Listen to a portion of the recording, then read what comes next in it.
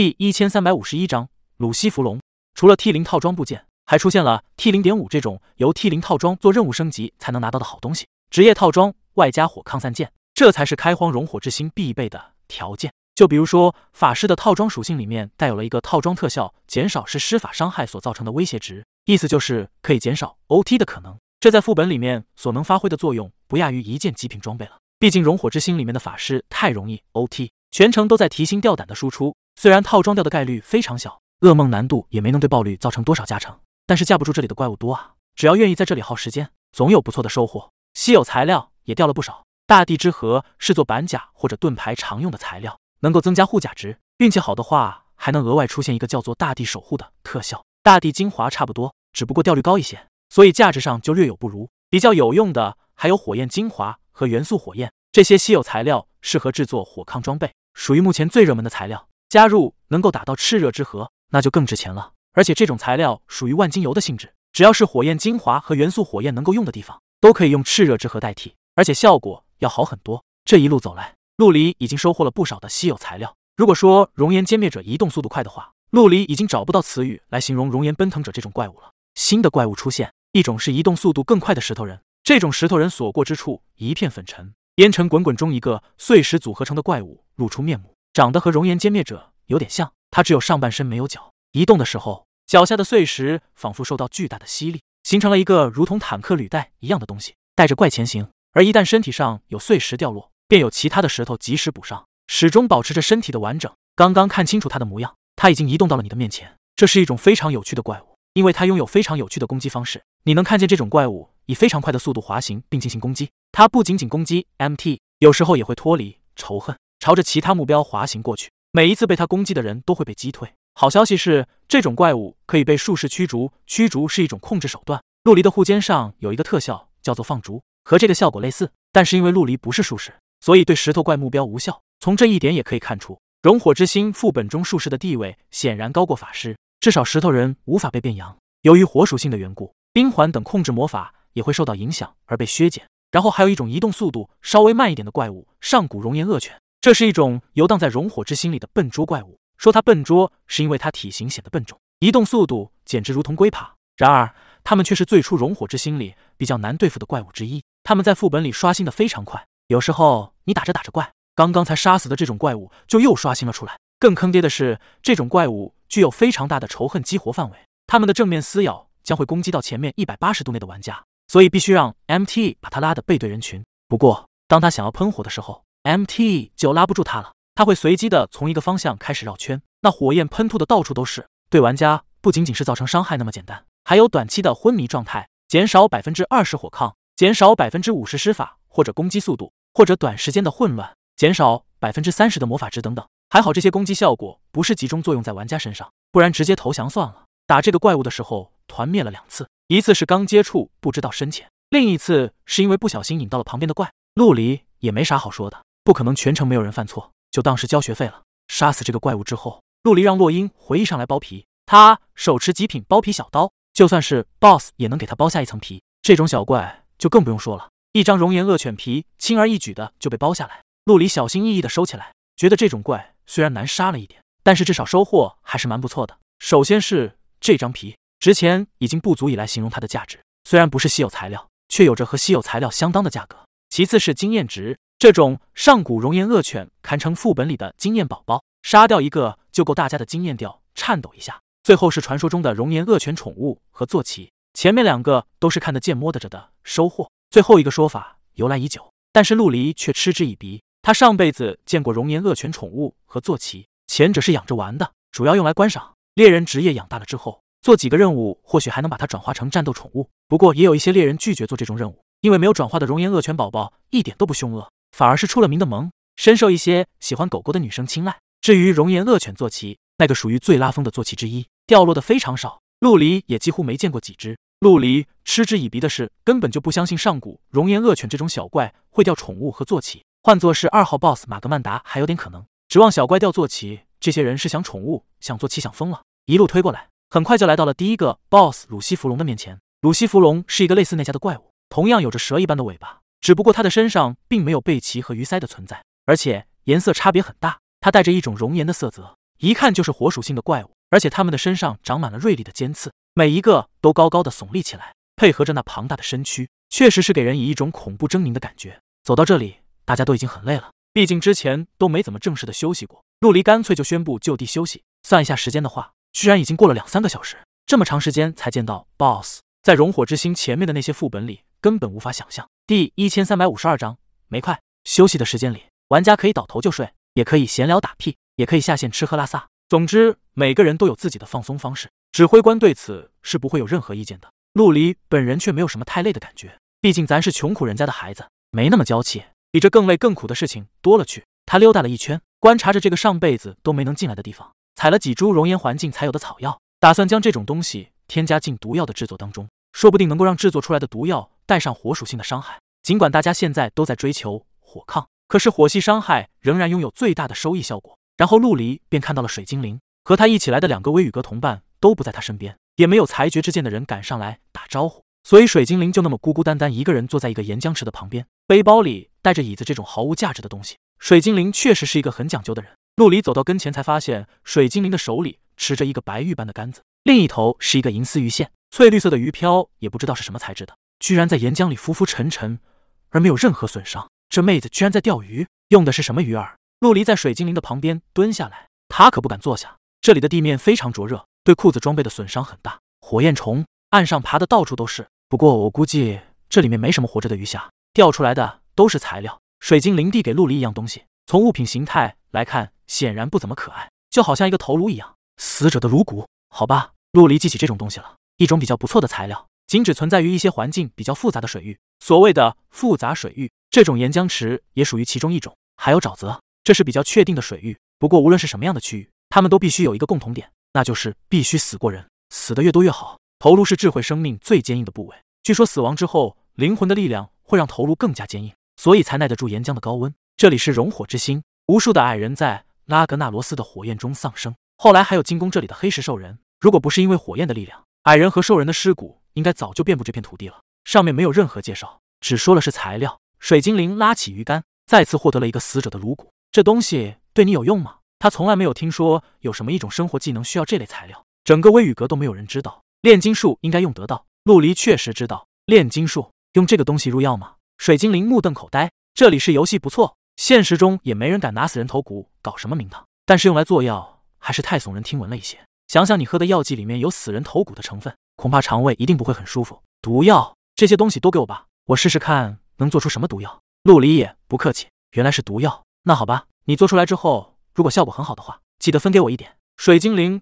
直接就把身上所有的死者的颅骨全都给陆离了，完全没问题。不过我还需要做实验。等摸索出相应的配方才行，这点材料不太够用。陆离拿出自己的鱼竿，也打算参与到钓鱼的行列去。可惜他的鱼线太过于低端，属于系统商店里出售的低端货色，刚扔进岩浆里没多久就化成灰烬。囡囡，女土豪喊了一声自己的同伴，借用一下你的钓竿，你不是有吗？干嘛要借我的？星星囡囡正在一个躺椅上躺着休息，此时估计懒得动弹，头也不回的应了一声。水精灵有些无语，他将自己的钓竿递到陆离手上，然后站起来走了过去。让他在这样的大庭广众下说是替陆离借的，他还真说不出口。这和洒脱不洒脱没关系，女孩子在某些方面的矜持是天生的，所以他干脆跑过去说，也不知道嘀咕了些什么。片刻之后，水精灵就拿着一个钓竿回来了，手里还拎了一个椅子，显然也是为了陆离借的。陆离的背包里从来没有这些乱七八糟的东西，除了钓鱼大赛那次，他平时很少钓鱼，即便是钓鱼也是蹲着或者站着。他还在往这边看呢。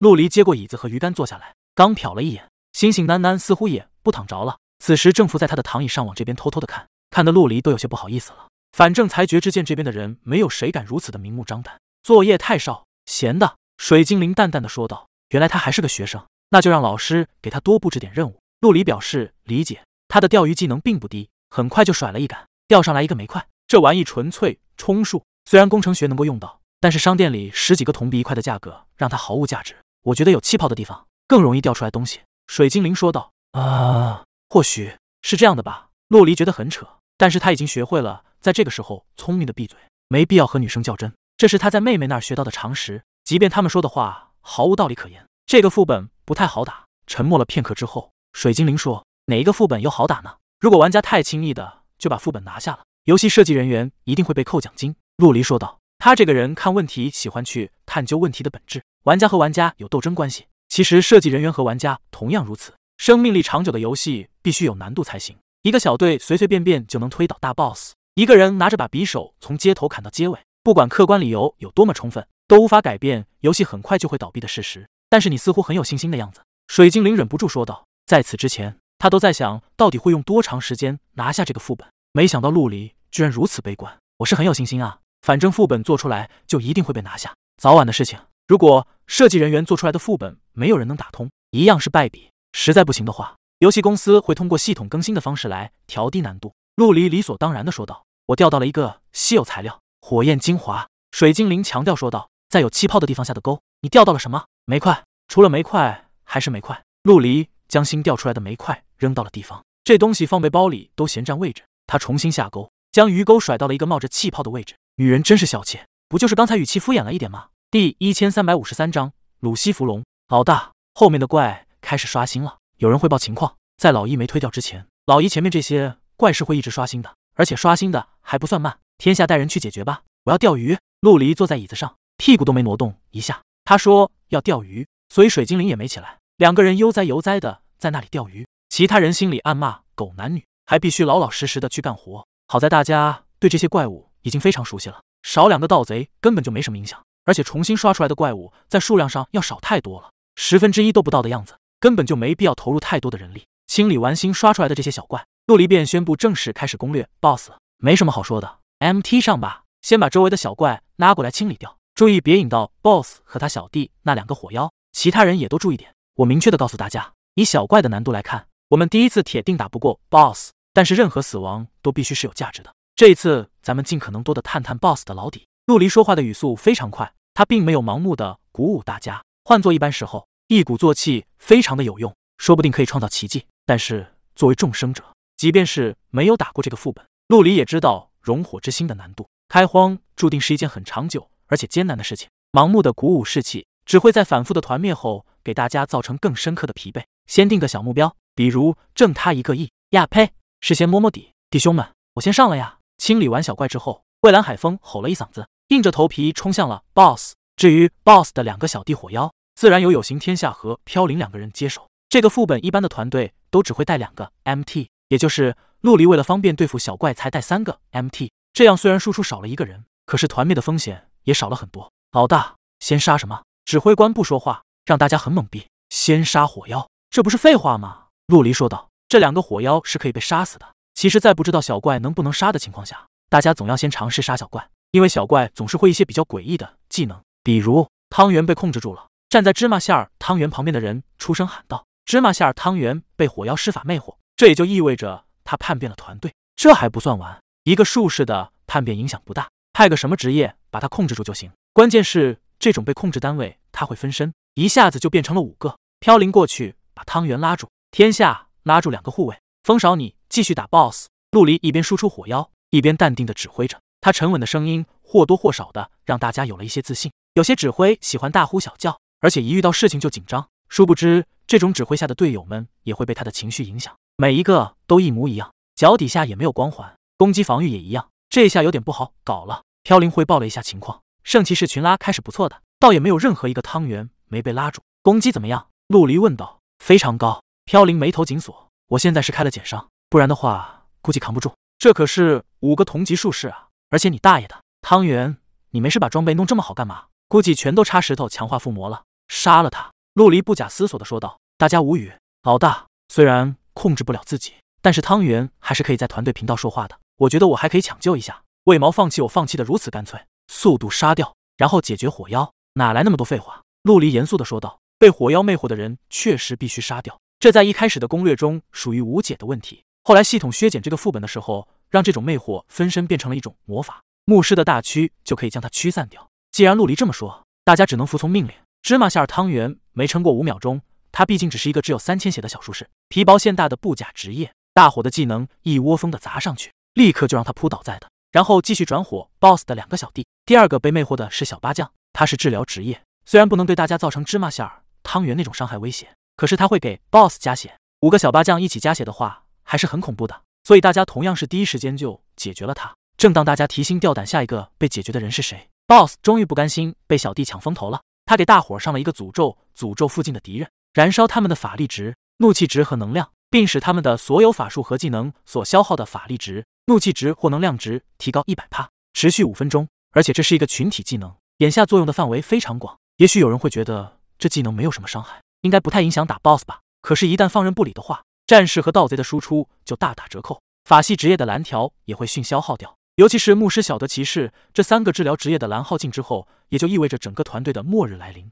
足足五分钟，如果这个状态持续下去，大家就别指望打怪了。法师解诅咒，陆离心想，终于来了。他将目光移动到了倾城玉、短路、花底离情这三个人的身上，然后就看到他们先是茫然了一下，然后才手忙脚乱的去解除队友的诅咒。法师在副本中很少被安排任务。至少在此前的副本中都很少，即便有一些诅咒出现，无论法师会不会动手解除，都不会影响到团灭那么大。所以当陆离喊他们解除诅咒的时候，他们都有些懵逼，还要花时间去分辨谁中了诅咒，这和操作没什么关系。他们都在专心的输出，还要小心翼翼的不去 OT，根本没有人去关心什么诅咒的事情。至于同样可以解除诅咒的德鲁伊小八将，此时还在地上躺着呢。等到大家身上的诅咒解除掉，几个法系职业的魔法都少了很多，有的甚至已经见底。至于两个奶骑，他们已经发出了救援信号，而且只能用小的加血技能支撑了。法师，你们脑子里在想什么？陆离拼命的忍住了吐血的冲动。花底离情虽然不是 PVP 玩家，但是他跟着陆离打了这么长时间的副本，反应比一般人要快多了。短路是一个很有天分的玩家，现在或许有一些不足，但是不足到这种地步，也确实让人崩溃。倾城允就更不必说了，你丫的一个赛手，要不要这么废啊？最该骂的就是这姑娘，可惜人家不是裁决之剑的人。陆离也不好单独把他拎出来骂，不好意思，下次一定第一时间解除诅咒。倾城允连忙说道，他倒也算是勇于认错，而且他也有自信，下一次会做得更好。另外两个法师见状，都表示明白了自己的定位。我宁愿你们三个不要输出，也必须解除掉诅咒。现在没法打，都快点死吧！陆离最后怒吼道：“飘零，你个萨比，要是再干涉残梦的宠物，信不信我把你的 DKP 扣成负数？”第一千三百五十四章末日破境。老大，怎么办？大伙傻眼了。这已经是第二次重新来过。一开始被魅惑了一个无足轻重的输出角色，大家很淡定的把他杀了，完全没有手刃同袍的罪恶感，因为这货居然有女朋友。此时大家终于找到了光明正大干掉他的机会，心里只觉得爽。然而下一个被魅惑的对象就非常重要了，以至于众人不敢自作主张。不是蔚蓝海风，就算是蔚蓝海风被魅惑了，也大可先干掉他再说。反正有有形天下和飘零两个 MT，总能支持一会的。杀了我，陆离也超郁闷。艾玛。今天什么日子？单身狗的逆袭吗？先是干掉了一个有女朋友的，现在又要干掉一个刚刚还在秀恩爱的，真是大快人心啊！大伙儿一脸沉痛的对着陆离疯狂释放攻击技能，嘴上说不要，身体却很诚实。那个谁甚至都把大招都丢上去了，陆离很快就被撂倒。五个陆离也没用，八将把我拉起来。他当然不可能一直躺着，死去之后，玩家的视野变成灰白色，而且视角和距离都会影响观察。作为一个指挥官。不可能躺在地板上舒舒服服的指挥战斗。小八将乖巧的把陆离战扶起来，最后补充了一句：“救人一命胜造七级浮屠，我只收三百金币，谢谢惠顾，欢迎下次再来。”陆离懒得和他计较，他必须提醒上次犯错的几个家伙打起精神来。我的大法师们，要是这次再用几十秒钟才把诅咒解掉，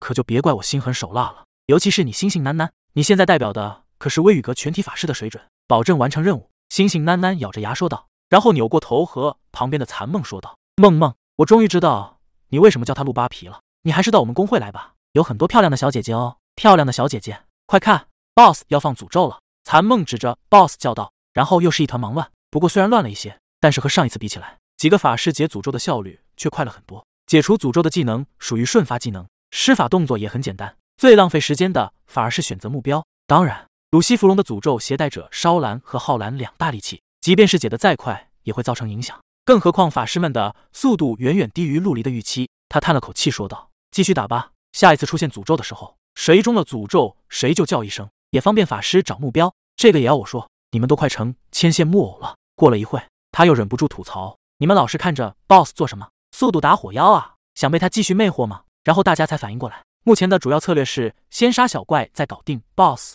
其实大家也能感受得到陆离的焦灼，这个副本。或许让他也感到了压力，不然他平时的言语没这么毒舌的，好吧，是不会一直这么毒舌。两个火妖终于被杀掉了一只，然后又有人被剩下的那只魅惑掉，陆离只能忍痛干掉这个队友。这种常规性的减员很让人蛋疼，而且这一次减员的还是奶骑，失去一个治疗比丢掉两个 DPS 还惨。好在火妖很快就被干掉，不需要那么多 MT，奶骑的作用也就没那么重要了。攻略早期版本的这个 BOSS，有的团队喜欢多带回战俘的德鲁伊，倒也不失为一种取巧的办法。如果实在不行的话，陆离也很有可能会这么做。毕竟现在最主要的是快点打掉 BOSS，而不是珍惜无所谓的 CD 末日破镜。末日破镜在十秒后对附近的敌人造成两万点暗影伤害，就是这个技能。陆离的心立刻就提到了嗓子眼。火妖魅惑，鲁西弗龙的诅咒，末日破境，这是鲁西弗龙最难的三个地方。无数团队在这里灭得死去活来，也正是这三个难点，将很多无组织、无记录、无配合的散人团队关在了熔火之心的门外。正如末日破境这个名字所表达的那样，十秒之后末日就来了。因为中招的人会在十秒之后遭受两万点伤害，两万点伤害啊！这妥妥的可以秒杀在场的任何职业。至于说用无敌技能或者特效去挡，拜托，有无敌技能和特效的玩家才有几个人？更何况末日破镜的这种伤害，无视防御，无视无敌。圣骑士开着无敌，法师立刻冰箱也照样被秒杀掉。曙光里的副本在刚出世的时候都有些超纲，后来有一位设计人员表示，并不是他们想要难为死玩家，而是上面给的要求就是。必须有相当的难度。当这个要求作为业绩指标落到设计人员的头上后，就出现了现在这种情况。所以，曙光每一次的系统更新似乎都在削减副本难度。更让玩家绝望的还有一点，很重要的一点，那就是不管是诅咒还是末日破镜这个魔法，他们都是 A O E 技能。打过 BOSS 的人都知道，这种群体攻击会造成什么样的灾难。就在陆离刚要喊话的时候，他突然闭上了嘴，因为一个虚化出来的圆形法术效果出现了，效果一直往外蔓延。直接作用到了中了末日破镜魔法的玩家身上，然后是另外一个圈圈，群体驱散，驱散半径十五码范围内的魔法，从五个有方目标身上移除全部的有害法术，并从五个敌方目标身上移除一个有益法术。这种驱散法术非常强大，可以移除通常无法被驱散的法术。传说中的大驱三月雨目前的招牌技能。陆离拍了一下自己的脑袋，真是被鲁西弗龙的诅咒给吓傻了，居然忘记三月雨有大驱技能。虽然从效果上来说，末日破镜更加致命，诅咒只是烧蓝耗蓝，不会直接死，而末日破镜却是实打实的秒杀技。但是当有大驱牧师存在的时候，末日破镜反而成了最简单的东西，像三月雨这样无脑的驱散就行了。陆离突然对击杀鲁西弗龙充满了信心，只要三个法师猛地打了一个机灵，也不知道是不是错觉，他们觉得陆离看他们的眼神变得好阔怕。第一千三百五十五章关键一战，这一次还是没能成功。鲁西弗龙的血量刚过半的时候。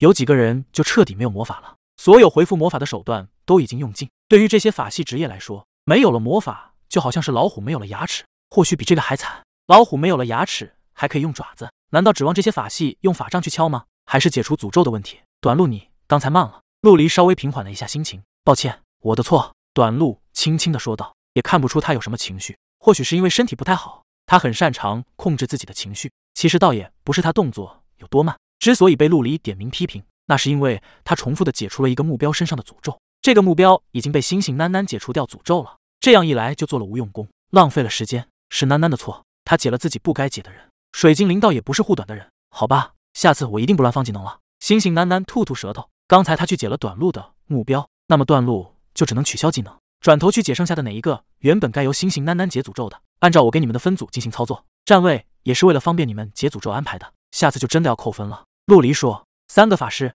总会有出现失误的时候，或者一个，或者两个，或者一起犯错。就算法师不错，其他职业如果出了问题，照样可能会连累到整个团队。四十个人的队伍，容错率并不比十五人或者十人的队伍高，而犯错的概率却翻倍的提升。一次又一次的团灭，半天的时间都投入到上面去了。第九次，这是第九次团灭了。”陆离面无表情的说道：“我得感谢你们，让我见识到了各种各样的犯错方式，让我大开眼界。不过既然表演完了。”是不是应该打完 BOSS，然后回去吃饭？我建议加大前期的输出力度。飘零插嘴说道：“说说你的看法。法师解诅咒现在问题不大了，暂时忘记他们导致了多少次团灭吧。咱们不能把一次攻略的希望全都压在他们身上。我觉得，如果火妖的魅惑威胁更大一些，三到五个人的损失是后期爆发也找不回来的，还不如一开始就爆发呢。听起来不错，那这一次就先爆发杀火妖吧。”陆离很赞同的点头。游戏圈的指挥官，或者简单的称作团长。已经属于泛滥的概念。这年头能带着人照着攻略按部就班的打通副本，就可以自称合格的指挥官。其实真正的指挥官最起码要懂得变通才行。开怪之后，蔚蓝海风这次拉的就不是 BOSS 了。鲁西弗龙被交给了有形天下，飘零还是负责被魅惑的人。蔚蓝海风这次负责拉两个火妖，他的手法、技能、装备都比有形天下略高一筹，能够快速而稳定的建立起火妖的仇恨，这样其他人才敢放心大胆的全力输出。第一个被魅惑的是胡子渣渣，胡子渣渣是裁决之剑里输出很强力的一个猎人，他更擅长的是走位，曾经有几次单挑 BOSS，将 BOSS 风筝死的战绩。然而不管他的输出有多么高，陆离都必须命令杀死他。第二个被魅惑的居然是花底离情，这个就有点悲剧了。兵法在鲁西芙蓉这里非常重要，所以在花底离情被杀死之后，陆离立刻就让小八将战俘了他。此时火妖已经悉数被杀掉了，四十人团全力输出的结果就是如此的强大，而相应付出的代价自然也不小。嗜血开了不说，大家也都用了各自最强力的输出手段，至少接下来的这次战斗中所能用出的强爆发手段已经不多。陆离干脆把胡子渣渣也拉起来了，多一个强力输出就能缩减一点战斗的时间，也就有可能让鲁西弗龙少用一次诅咒。八将。不用你治疗了，你看下二队的人，如果中了诅咒，你就帮着解一下；如果没有的话，就帮着夜色给 MT 加血。夜色，等下，如果你中了诅咒，就不要再加血了，等诅咒被解掉之后再加。法师德鲁伊优先解除治疗的诅咒。到目前为止，这一次都打得非常不错。陆离不断的调整战略，胜败在此一举了。虽然还没到游戏结束的时间，但是大家的精神经过这么长时间的战斗已经疲惫不堪，团灭之后再继续也不见得能有这一次的局面。大家看到陆离严峻的表情，知道指挥官先生这次动真格的了。他们全都打起了精神，打到了现在这个地步，没有谁不盼望着快点打掉这个 BOSS，好脱离苦海。三月，注意你的魔法，减少加泄力度。其他人都注意自己保命。陆离必须确保大驱牧师有足够的魔法值来释放大驱才行。一旦三月雨没有了魔法值，那么这次打掉 BOSS 就没了任何可能。我这里有个特效，或许可以帮忙。水精灵伸手在自己的徽章上点了一下。然后一道绿光笼罩到了三月雨的身上，然后三月雨的魔法就肉眼可见的恢复起来，直到恢复了接近一半才停下来。你怎么也会激活？小八将的激活之前就给三月雨了。陆离没想到水精灵也有类似的能力，效果比不上德鲁伊的原版。我一直觉得这个特效对我来说是鸡肋呢，而且一天只能用一次，之前都没敢用，这次看有希望过，希望不会浪费。水精灵之所以解释的这么清楚，自然是不希望裁决之间的人认为他藏私，非常棒。陆离不吝赞赏。大家有什么手段都拿出来用吧。这一次要是过不了，咱们就只能明天再打了。还别说，这些家伙们平时看着都特别老实，谁知道几乎每个人都有点手段。这让陆离松了口气的同时，又觉得无语。看来他也必须学习其他团队的那些团长了。外面的那些团队，就算是野团团长，都会尽可能的去了解队员都有些什么能力，这样有助于他指定战略。陆离一直没有这类传统，毕竟他的固定团原本就十个人，大家都是一起打副本走到现在的。其他人身上都是些什么装备，他几乎了如指掌。现在阵容扩大了，而且还加了三个微雨阁的人，新的规矩就必须确定下来了。第一千三百五十六章开始分装备，狂暴了！好，继续加油！陆离的兴奋已经形之于色，倒不是说他多么的喜欢 BOSS 狂暴，尽管鲁西弗龙不是那种攻击力超强的 BOSS，可是他一旦狂暴起来，也照样有概率秒杀蔚蓝海风，到时候就算不团灭，也会伤亡惨重。陆离兴奋的原因在于，只要进入狂暴阶段。鲁西弗龙就不会再释放诅咒和末日破镜这两个技能了，取而代之的是一个叫做暗影震击的 A O E 技能。这个技能伤害不低，而且属于群伤，但是比起诅咒和魔法，可以说已经回到了正常人所能接受的合理范畴。风少拉好，天下准备，一旦倒替你就立刻接手，其他人什么都不需要管。放开了输出，陆离希望不会再出意外了。这个阶段最关键的其实就是 M T 能抗住，治疗能够加好。现在三个 M T 都还活着，治疗的魔法也还能支撑。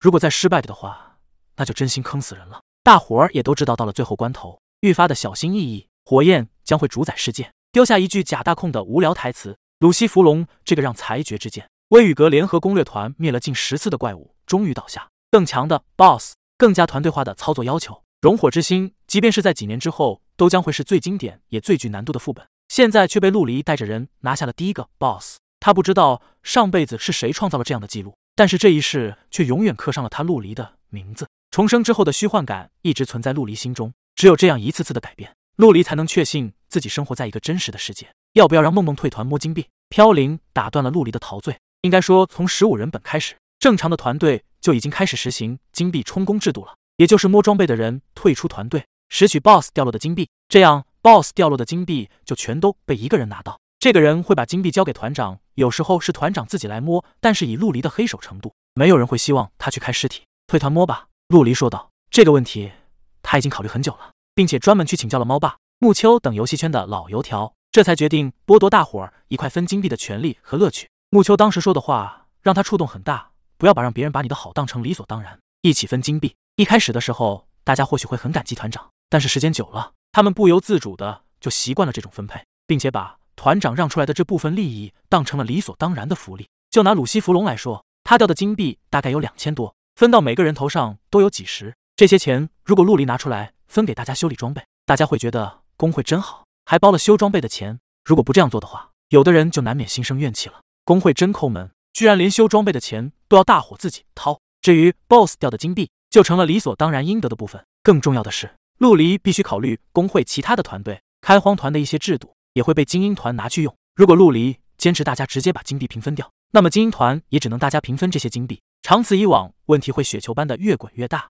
当然，听到陆离宣布这个消息的时候，大家还是有些失望的。不过这里。没有谁会真的在意几十个金币，注意力很快就被接下来的事情转移走了。小红手，请开始你的表演，给你金币。小财迷水汪汪的大眼睛全都是不舍，但还是把金币全都给了陆离。他决定等下一定要摸很多好装备，然后挨个的要红包，不给就哭给他们看。陆离当然不会客气，而且这些金币他也没打算私吞。下次再进来打本的时候，一旦团灭的次数太多，就必然需要修装备，到时候他就可以将修理机器人设置成免费模式，大家修装备全都不要钱。当然，系统还是会按照正常的价格扣钱的，只不过是从陆离的钱包里扣。石头三颗，强化石二十二颗，好多的石头，可惜没有特别值钱的。小猎人摸出石头，还不忘点评一二，他现在眼光可高了。这种暴击伤害加十五趴的极品石头，居然都不被他放在眼里了。法系职业的法杖上，如果能够插一块这样的石头，只要暴击率不是低的，令人发指，暴击伤害的效果会立竿见影。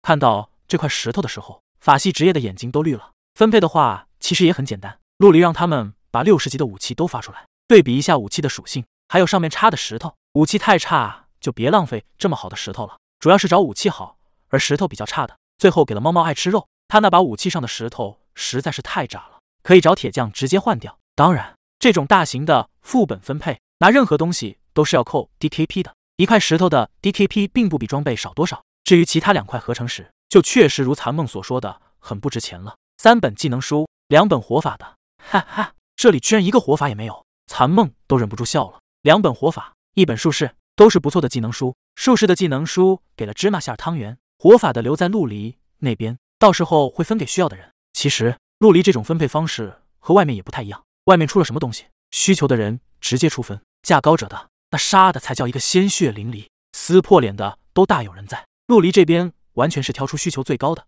然后再结合需求的人数、物品的价值，由陆离本人裁定一个合适的 DKP 数值，倒也不是最低价拿东西。大家对他的眼光和公正力度心服口服。然后是几件稀有材料，和之前小怪掉的都差不多，全都一直放在陆离那边。这些算作裁决之剑工会的财产，即便是威宇阁过来帮忙的三个人都无法参与分配，只有在他们特别需求，而陆离这边有没什么人要的时候，才会直接分配给他们。然后才是最激动人心的时刻。曙光这款游戏装备凌驾一切。至少在普通玩家的意想之中，只要给他们一套顶级装备，他们混的就不会比什么消磨陆离差。第一千三百五十七章标分，最先出场的是一件暗金装备，火抗比较高，属于圣骑士板甲输出装备，在圣骑士这么多的队伍中，自然不缺市场。陆离只能让他们自己出分，他可以自作主张的分配石头和技能书，装备就没办法按照之前的原则进行分配了，因为装备可以交易，需求不那么大的玩家大可拿了装备之后，把原来的脱掉给需求特别大的。DKP 立刻狂飙起来，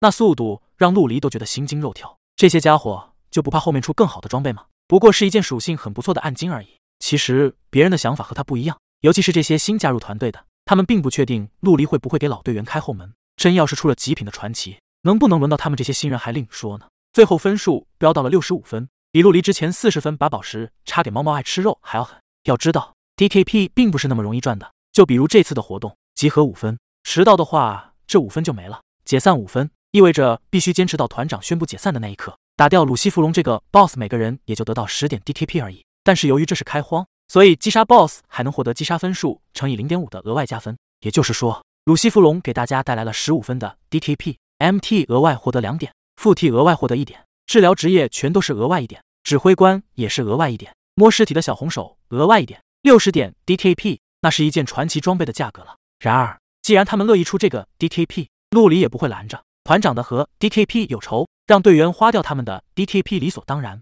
不然等到以后大家的 DKP 都烂在手上，那就通货膨胀了。正常的标准应该是团长中不存在分霸，即便是新来的成员也能很快赶上平均水平。第二件是黄金，属性虽然不错，可惜在这里没市场。第三件和第四件同样如此，这三件东西陆离分给了三个 MT，他们这类职业吃的合计更加昂贵，而且修装备也是大头，不补贴一下真心玩不起 MT。然后又是一件暗金熊 T 试用，这里没有需求。水精灵出了基础分就拿走了装备，他们家有一个熊 T 仓水长哥，水精灵拍了装备回去增强自家雄 T 的实力，这种事情当然没人反对。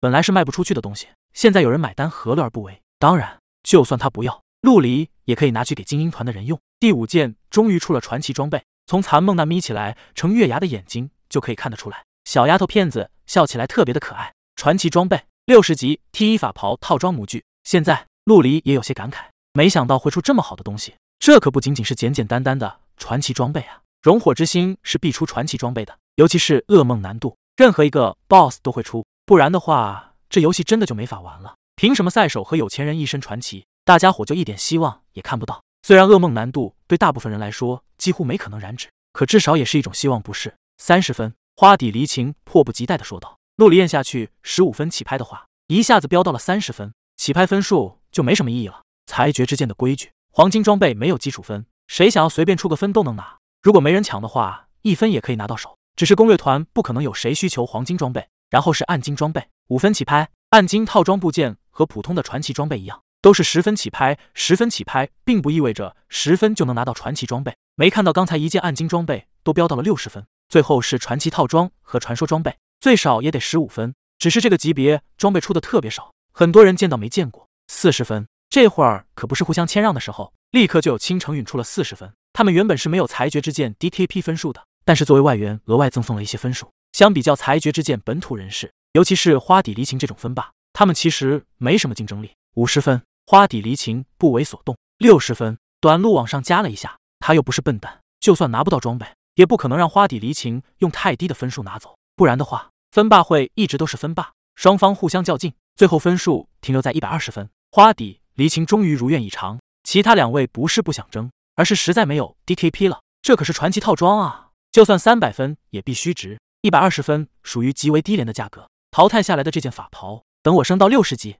短路你拿去用吧。花底离情并没有因为别人抬他的分而生气，只要不欺负他妹妹，他很少和人置气。谢谢花哥。短路却有点不适应，他是身体有病，不是脑子有病。当然知道花底离情身上的装备是个什么情况，半数传奇是最起码的，而最重要的法袍显然也是传奇。说是淘汰下来的，其实照样可以秒杀游戏里百分之九十九点九的法师。好了，让我们来看看还有没有吧。梦梦，快点，别磨蹭。花花等会记得给他包个红包。陆离说道：“好呀，好呀。”一直看花底离情没什么表示，残梦正失望呢。这会儿听陆离这么一说，立刻就来了精神。骑士项链，哎呀，这回可能又有的争了。传奇类首饰，低价不如套装，但是这只是表象而已。刚才拿法师套装部件只有三个人争夺，现在这法系的启示项链却足足……陆离都不想去数了，因为这件装备大众的属性，只要是魔法职业都可以参与争夺，奶奇也不例外。十分起拍。大家开始吧，陆离叹道。他其实很想直接分给三月雨或者猫猫爱吃肉的，毕竟是赛手，但是他不可以这么做。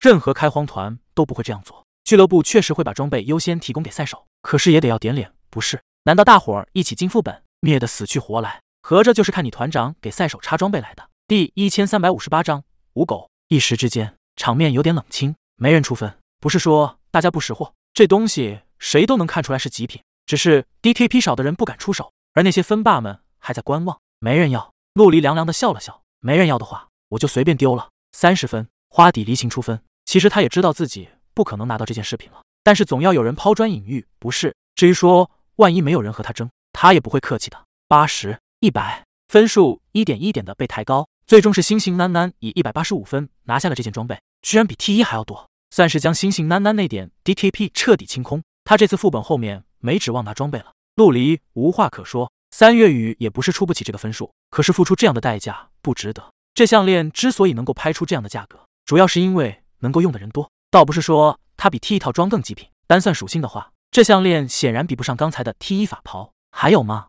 还有一本技能书。残梦摸出来一本技能书，嘴嘟的老高，完全没了刚才数钱的开心。不仅花底离情给了他金币红包，星星囡囡也给了。微雨阁想把小红手拐走的心思从未断绝，所以给的红包自然也十分丰厚。发出来看看，算是最后的收获吗？陆离很好奇是什么东西。凝神射击，残梦把东西展示了出来。虽然大家都宠着他，但是他还没骄纵到敢摊掉装备的地步。陆离明白他什么意思。本来队伍里只有他一个小猎人，出了猎人装备自然就是他的。可是现在多了一个胡子渣渣，他就没以前那种待遇了。你们俩出分吧，就不用拍了，每人私聊，给我一个分数就好，一本技能书而已，没必要争执。而且这个技能属于辅助和 PVP 技能，残梦和胡子渣渣都不是 PVP 玩家，对他们来说技能不是很重要。唯一需要考虑的是下一个 BOSS 马格曼达，打马格曼达必须有猎人会凝神射击这个技能，用以驱散 BOSS 不时使用的激怒效果，不然的话很难打得过 BOSS。胡子渣渣私聊给陆离一个数值是二十五，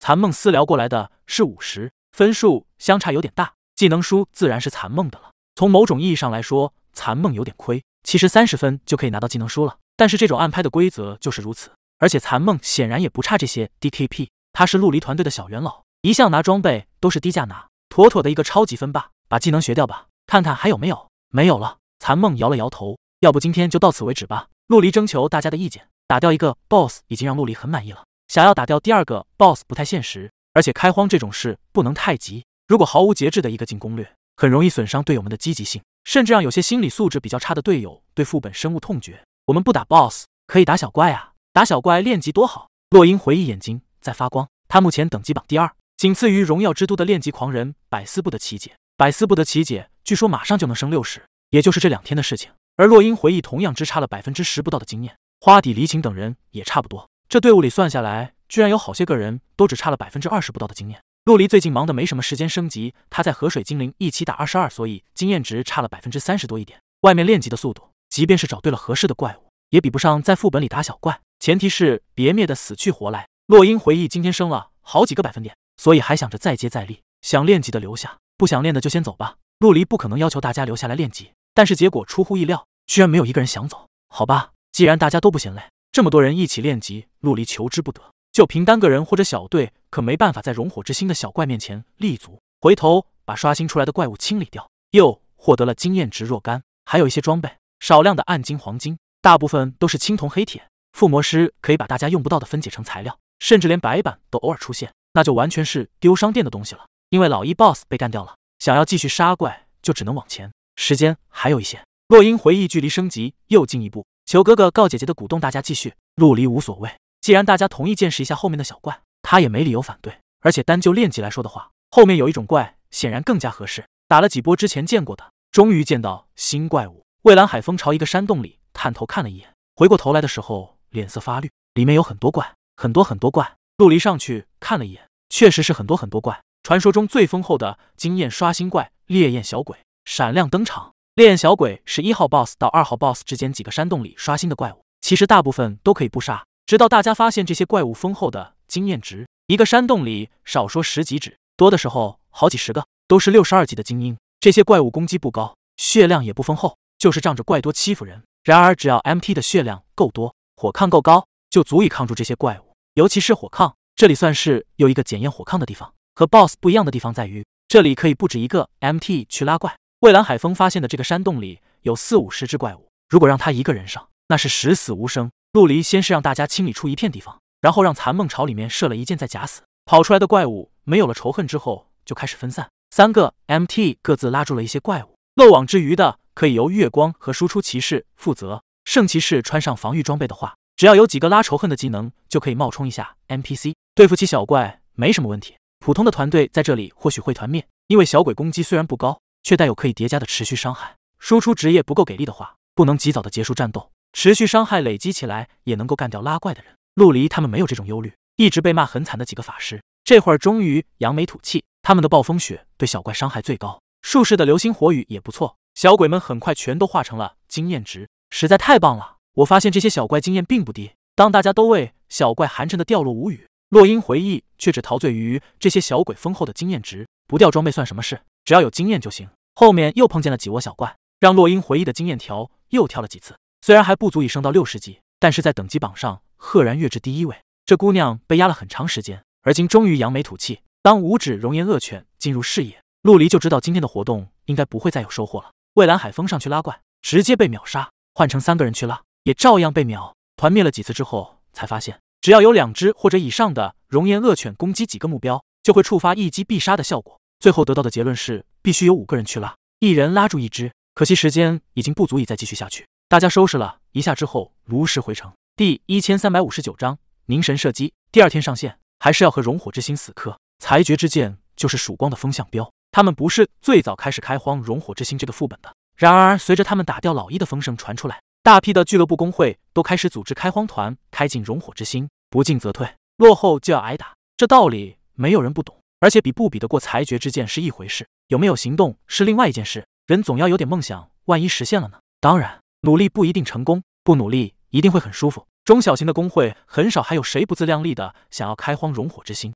曙光这么大，游戏元素丰富，搞什么都有前途。虽然老一已经打掉。可是隔了一夜是很长的时间，前面的小怪刷新了不少。陆离带着大家必须一路清理过去，收获不少的经验。洛英回忆今天妥妥的能够升到六十级，其他人也相差不远。如果能打掉两个 BOSS 的话，就连陆离都差不多能够六十级了。很快就清理完小鬼，见到了第一个五狗组合。昨天在这里灭了团灭了几次，倒也摸清楚了这批怪物的特点。陆离按照昨天摸索出来的策略指挥，我标记符号，五个人来拉怪，一人拉一只，都不匀。许多拉，然而这一次还是团灭了，因为熔岩恶犬被击杀之后，居然再次爬了起来。拉怪的人一时不察，结果接二连三的倒替，场面一时大乱。五只重新复活的汪星人主宰了战斗。这个故事告诉大家，这些怪物是会复活的，必须一起击杀，不然剩下的怪物会复活死去的。陆离道破玄机，如果让大家一点点的去试探，也能发现怪物复活的秘密，但是那样实在太浪费时间，从头再来。这一次几个人各自拉住一只怪，会群攻的职业释放 A O E 技能。盗贼战士这种则负责平衡这些怪物的血量，哪一只的血量学一些，他们就重点照顾哪一只，并不是说这些怪物必须丝毫不差的在同一时间杀死，毕竟那样要求太高，正常情况下都不可能完成。或者的熔岩恶犬复活死去的那些，有一个小小的时间差，只要在这个时间差里把怪物全部杀死，就可以无虑了。而且就算熔岩恶犬复活，拉住重新打就行，也不至于到团灭的地步。说起来容易，做起来难。不知道多少人过不了五狗这道坎呢？消灭了第一波五狗，后面就简单多了。在第二个 BOSS 马格曼达面前，大家获得了一个半小时的休息时间。马格曼达是火焰之王拉格纳罗斯最宠爱的宠物，烈焰行者鲁西弗龙保护着他。据说，当拉格纳罗斯被囚禁在元素位面时，曾以被俘获的敌人的尸体喂食这头巨兽。马格曼达由此成为火焰之王忠诚的仆从。有消息了，但是对方要价非常高。根号三接通了陆离的通讯器，只是一本技能书，要两千金币。也实在太过了，陆离觉得挺无语。现在金价不复从前，但是依旧坚挺在三十比一的位置上。两千金币就是六万现实币了。他现在家大业大，确实拿得出六万块，却也没有当冤大头的觉悟。想当年他上辈子进游戏那会，凝神射击十个金币都没人要。没错，他让根号三帮忙收购凝神射击技能。马格曼达最屌的地方在于他的群控和激怒。群控已经有了解决的办法，而且至少还不足以致命。可是激怒就不一样了，这是马格曼达赖以团灭无数团队的基础。以至于诞生了一条铁则：如果队伍里没有会凝神射击的猎人，这 BOSS 就别浪费时间了。残梦已经有了一本，一定程度上能够解决激怒的问题，但是这还不够。想要击杀马格曼达的希望不大。陆离他们的等级不足六十，个个都有等级惩罚。MT 还享受着碾压的待遇。如果有两本凝神射击技能书就好了。除了鲁西弗龙调，凝神射击一般会在四十多级的沙漠食人花怪物、沼泽污染者之类的怪物爆出。这两种怪物不算主流的升级怪物，刷新不多。位置也比较偏，裁决之剑这么多人都没听说谁有，可想而知这种爆率有多低。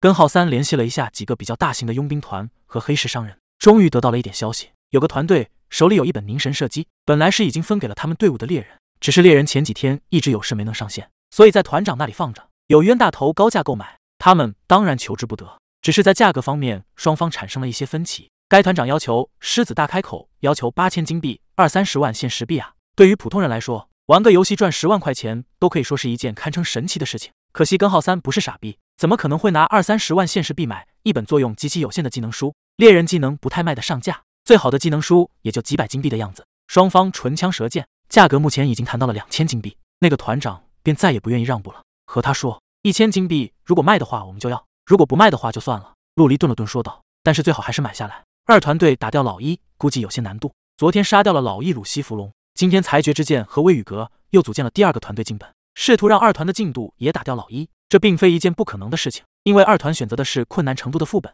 噩梦难度的鲁西弗龙必掉凝神射击技能书。困难程度虽然不是百分之百，但是掉落的概率非常大。至于精英难度，那就别抱太大指望了。如果能够顺利杀掉鲁西弗龙的话，便有第二本凝神射击技能书。跟浩三那边继续谈，陆离这边已经开始对马格曼达下手。无论如何都要先了解一下 BOSS 的机制。等消息的过程中，陆离可以带着队伍多团灭几次。第一千三百六十章，狗王他们答应了，不过我自作主张给了一千五百金币。根号三发来信息，接到这条信息的时候，陆离都不记得这是马格曼达的第几次团灭。这个 BOSS 其实蛮厉害的，前期团灭的最主要的原因是群控，而且是开战不多久就群控，近战职业集体中招，仇恨系统彻底崩溃。摸索了几次之后。陆离让近战职业最开始不要输出，最起码要等第一次恐惧结束之后再出手。大家一起站在三十五码之外等待，这是 BOSS 群控的施法范围。近战职业尽可能的躲，或者用自身的手段来避免被恐惧。MT 就不太好弄了。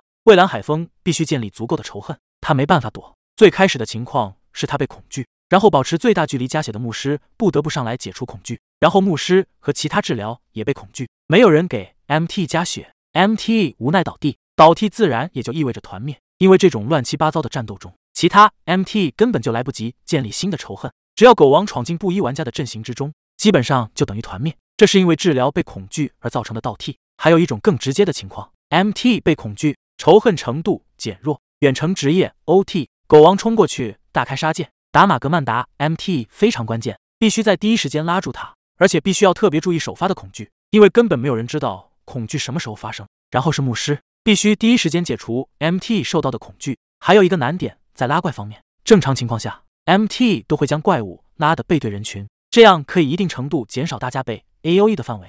但是在这里行不通，因为中间隔了一个狗王，牧师加血的距离被无形之中拉长了。目前牧师的加血距离是四十码的样子，一个狗王就占了五码。如果隔着狗王给 MT 加血，那么牧师等治疗和狗王的距离就是三十五码，这正好是狗王的恐惧范围。治疗如果被恐惧了。还指望谁来给 MT 加血？这些基本上都是恐惧造成的问题。可以通过一次次的团灭来锻炼大家的反应和站位，很快就进入 P 二阶段。这个阶段除了 P 一阶段的恐惧和喷火，还多了一个火堆的存在。玩家厌恶的将马格曼达的行为定性为随地吐痰。马格曼达吐出来的东西在地面上会形成类似于火堆的东西，这玩意只要靠近就有伤害，贴上去的话伤害更高。任何职业都撑不了多长时间，一般人只要脑子没问题，谁也不会去贴火堆。可是，一旦被 BOSS 恐惧，那就属于脑子丢失的范畴，比没脑子还要可怕。好几次都是有人被恐惧着钻进了火堆里，幸好游戏还要讲究和谐，不然肉香味都可以弥漫整个副本。因为治疗压力特别大，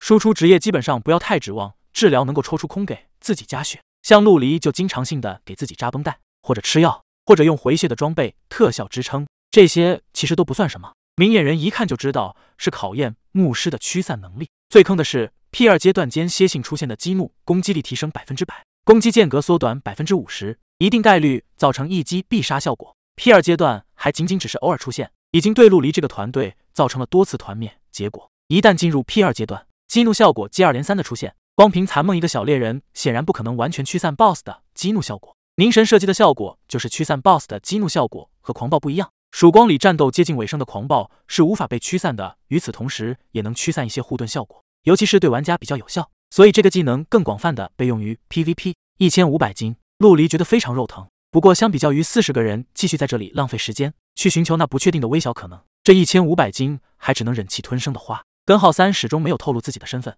所以那个团长并不知道是裁决之剑的陆离想要这本技能书。当然，如果这位团长知道买家底细，说不定会以更低的价格成交。毕竟能够教好陆离这种游戏大神的机会不多，甚至还有可能他是陆离的粉丝。那样的话。根号三谈价格也不用谈的这么辛苦了。然而陆离和根号三都不是太感性的人，不会理所当然的觉得别人都应该讨好他。其实更有可能的不是因为陆离要买而放弃高价，而是开出更高的价格。一个普通人是买家，一个俱乐部老大是买家，能出得起的价格显然不在一个档次上。同一棵树上结出的苹果，卖给贫民区的穷人可能一块钱一斤都卖不掉，但是卖给那些富人区的土豪，不好好包装一下，卖到几十块钱一斤，土豪们都不好意思降低个调买。趁着团灭的机会，陆离出了副本，拿到了刚刚买来的技能书。这本技能书立刻就成了这次副本最大的投入之一。交给胡子渣渣的时候，陆离毫不客气的扣了他五十分的 DKP。胡子渣渣不仅不生气，还觉得自己占了大便宜，因为他已经知道这本技能书的价格是何等的恐怖，比起一般的传奇装备都贵三分。一开始的时候，陆离就让大家知道这本技能书值多少钱了。他不是那种默默奉献不求回报的人，他不说的话，别人怎么可能知道自己占了多大的便宜？不然的话，胡子渣渣很可能觉得自己出二十五分才算正常。毕竟他和残梦暗拍之前那本书的时候出的就是这样的价格。一本凝神射击不够用，技能还没冷却好，BOSS 已经又一次进入激怒状态。有了第二本凝神射击，至少在 P 二阶段，马格曼达的激怒就不可能构成威胁了。有了新的技能书，胡子渣渣适应了一下，又团灭了两三次，终于进入了 P 三阶段。P 三阶段其实没什么新意，甚至可以说就是 P 二阶段的翻版，区别仅仅在于激怒的密度增加，而且这种增加也不至于让猎人无法应付。理论上来说，两个猎人还是勉强可以完全驱散马格曼达的激怒效果，前提是他们必须听陆离指挥，听指挥，狗王就是一盘菜；不听指挥，狗王就是神。